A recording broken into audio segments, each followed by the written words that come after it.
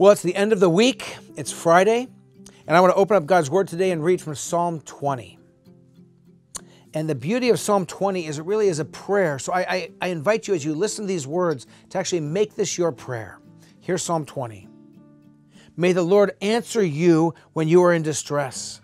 May the name of the God of Jacob protect you. May he send you help from his sanctuary and grant you support from Zion. That's the holy hill, the place that God dwelled. May he remember all your sacrifices and accept your burnt offerings. May he give you the desire of your heart and make all your plans succeed.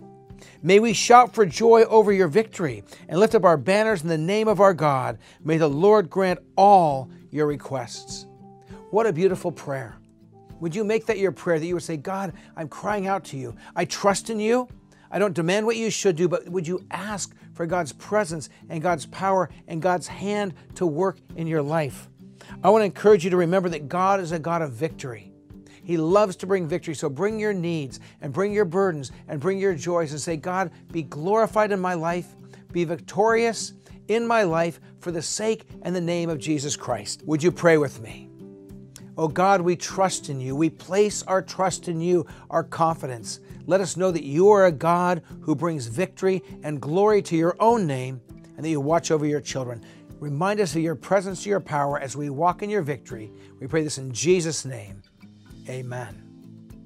Well, today you're going to get a little update from a local doctor in the Monterey area who also happens to be the vice president of your church board here at Shoreline Church. I'd like to hear a few words from Dr. Rick Alexander. Hey, good morning, Shoreliners. Um, wanted to give you a little medical update first on what's happening with the COVID-19 virus in uh, our local community.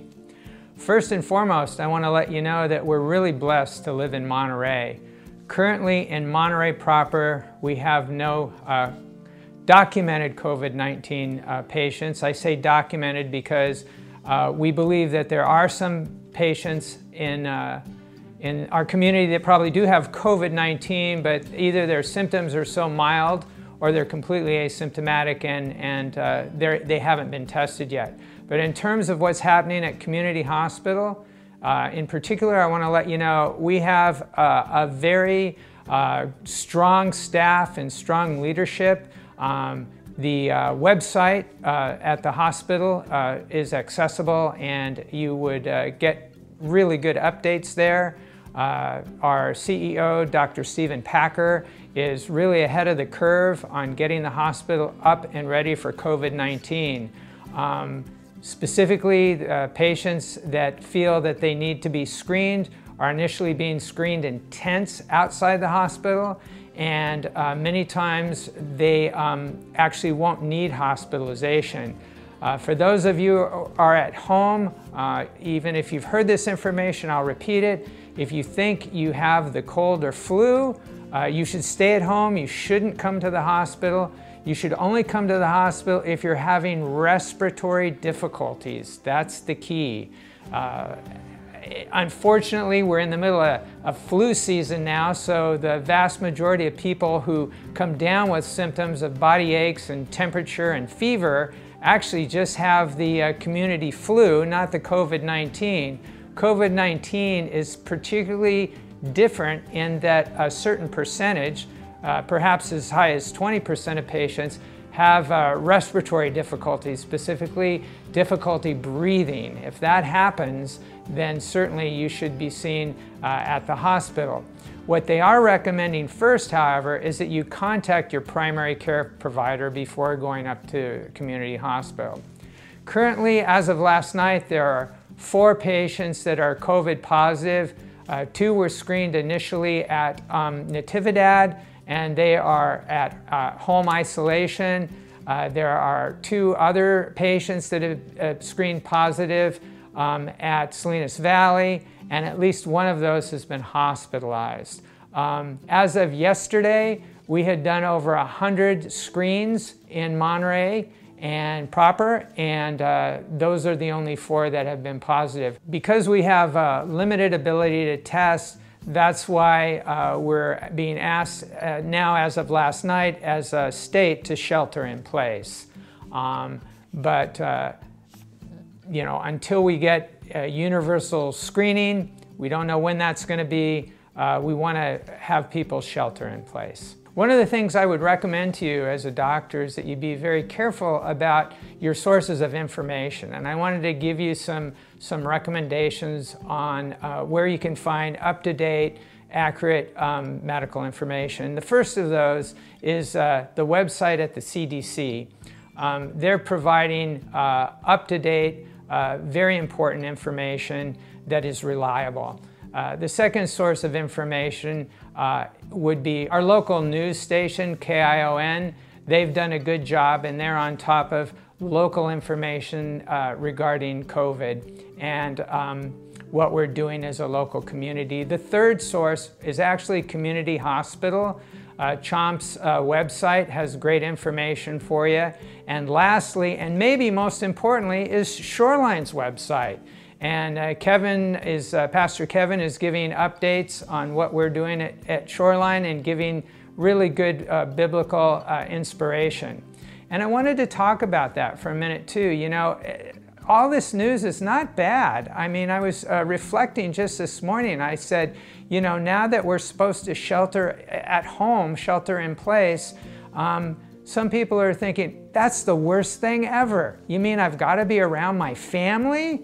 Um, and really, come on, this is an opportunity for us to really grow as individuals, as families, um, and actually spending time together. Um, when do you get to do that other than on vacation? And then usually when we're on vacation, we have all these distractions. Well, guess what?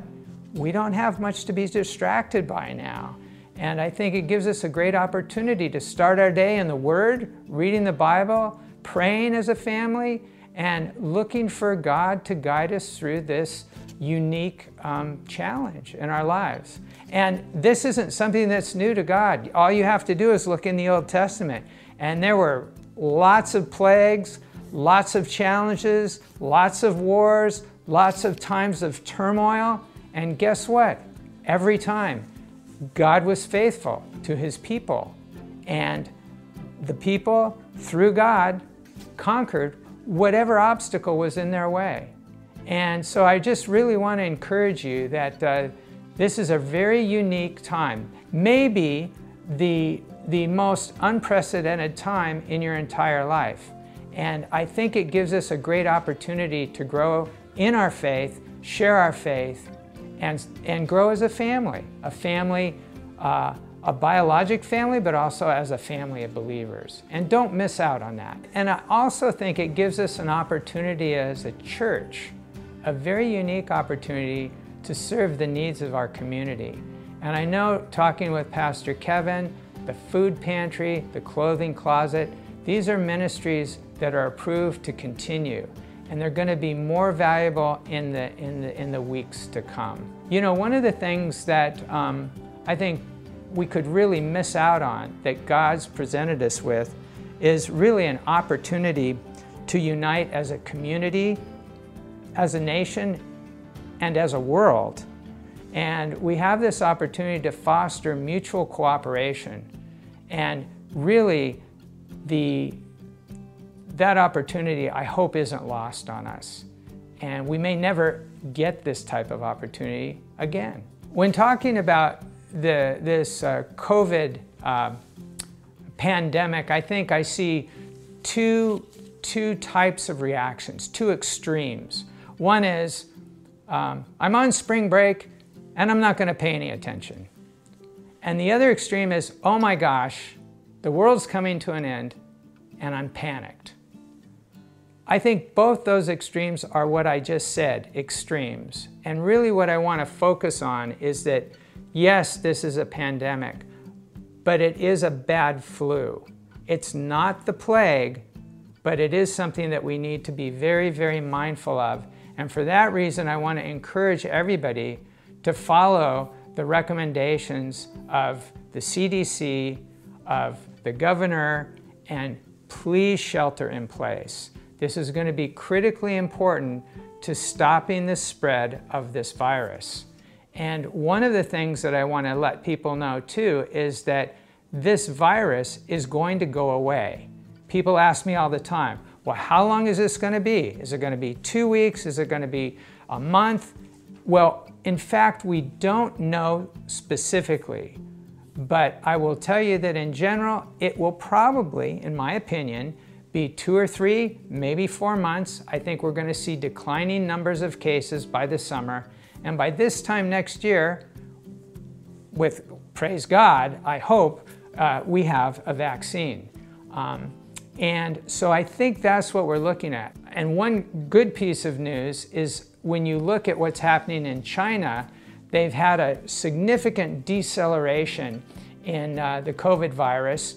People are going back to work. And in Hunan province, where the virus was first detected, actually back in November, there had been no new cases for the last 72 hours.